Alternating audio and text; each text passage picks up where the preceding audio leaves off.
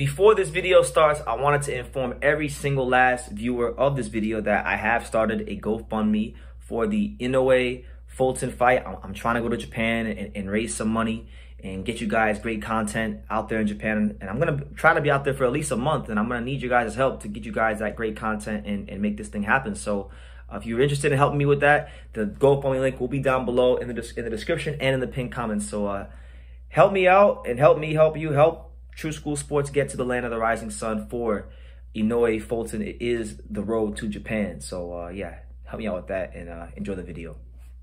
It's personal between me and I'm going to do you some serious harm, you big stiff idiot. The Untouchable Tru School Sports Empire proudly presents something the boxing game's been missing. Hey, what's going on? It's your boy BT, and I came here to talk some boxing with the thousands of Tru School Sports subscribers. Now, interesting stuff. I wanted to talk about this fight and highlight this fight because it is a key fight this weekend. It's it's on the undercard of the Amanda Serrano card this Saturday on DAZN. I didn't even realize that this fight was happening until just yesterday when my boy Hyro pointed it out to me. So shout out to Hyro. He gets partial credit for this video. But um, it's going to feature two undefeated fighters in that, just in that extremely loaded 140-pound division. Uh, two fighters who are combined 32 and 0. You're going to have Richardson Hitchins, Richard, Richardson Hitchins versus John Bauza. Great fight. Love this fight.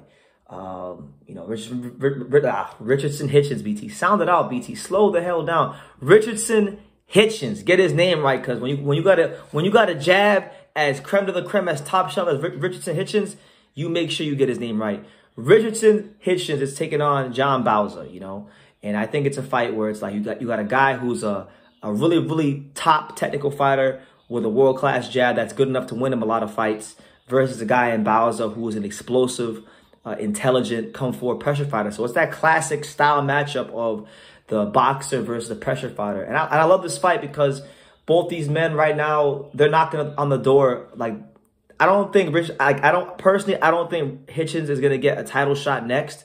But he's at that stage of his career where now if he wins this fight, now he's a top 15 ranked fighter in a very loaded weight class. And now you have to really, really start to pay extreme attention to him. I mean, like right now we're paying attention to him, but but but you'd have to pay extreme attention to him because now he's in the mix. Being in the mix is a lot and very important in boxing. If your name's in that top 15, it's very important. Bauza's a guy that, you know, I, have only really only seen him fight once, and that was a couple years ago or whenever he fought uh whenever he fought Michael Williams Jr. That was a fight where like there was a lot of hype going into the fight. Um, Michael Williams Jr. had built his record up nicely at that time, and and and and, and that was a step up fight against John Bauza. Bauza good fighter, you know, in that New York, New Jersey area.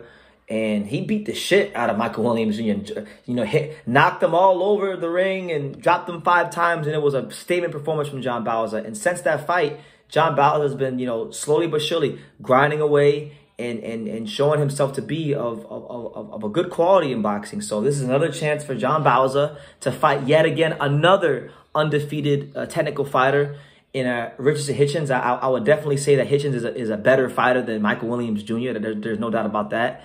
Hitchins um, has fought better fighters than Michael Williams Jr. Hitchins has a better jab than Michael Williams Jr. Hitchins is a, lot, is a lot more defensively sound than Michael Williams Jr.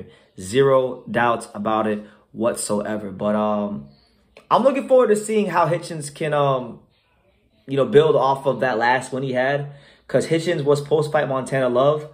Uh, Montana Love unfortunately didn't do his job and he lost to Stevie Sparks. So, you know, there's a lot of options out there for Hitchins right now as it stands. I want I want to I want to give you guys some clarity as to where you know Hitchins stands and where Bauza stands uh, politically speaking as far as rankings are concerned. Because right now as it stands, Hitchins is ranked number 13th in the IBF.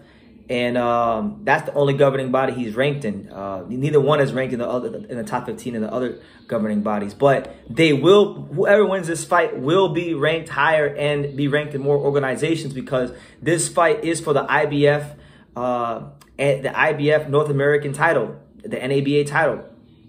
You know, and it's also for the WBC uh, US NBC title, which also get a ranking position. So these guys are going to get ranked, whoever wins this fight. And that will position them for, you know, big fights, bigger fights in the weight class moving forward. I mean, if we, just look, right?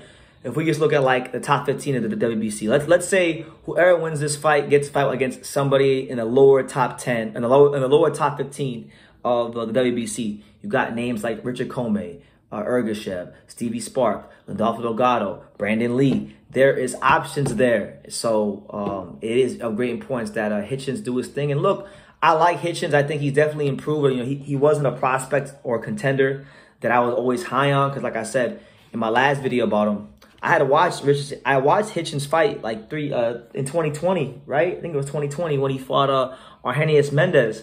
And I saw him, and he was he was alright. You know, I wasn't like blown away by him. But in that last fight he had on the on the Montana Love card undercard, I saw a lot of growth. I saw a lot of maturity, and it looked like it looks like that some of the hype that I was hearing from my box people in New York may actually have had some validity to it. So, um, looking looking forward to see what he does against you know a really really dangerous fighter in John Bauza. I know Bauza is going to at some point in the fight uh, take Hitchins to those deep dark uncomfortable places, and it's in, in those moments it's going to be up to Hitchins to kind of like use that jab, use his skills to to to navigate through those nervy moments when when Bauza does eventually hit him, and um, you know, ask those questions of him. And if he can do that, and if he can show that gumption, if he can show that um that that dog, that the, the boxing IQ to to navigate those kind of moments in a fight like this against another really good undefeated fighter, then my my my perspective of Hitchins goes up even higher. So. Uh, Really good fight this weekend. I, I, would I would even go as far as to say this could be the fight of the card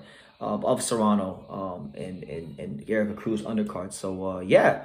Let me know what you guys think in the comments down below. Who are you favoring? It's it's the classic technical boxer versus the explosive pressure fighter, Richardson Hitchins versus John Bauza. They're jockeying for position in the in the ranking system at 140, and somebody's O must go, and it must go, it will. So uh, yeah, let me know who you guys are favoring and why. Are you are you going with John Bauza Are you going with Hitchins? Let me know why in the comments down below. Make sure you guys take the time to subscribe. And like I say in every single one of these videos, you can love me or you can hate me. But I'm just a kid from Daniel. So until next time, take care, guys.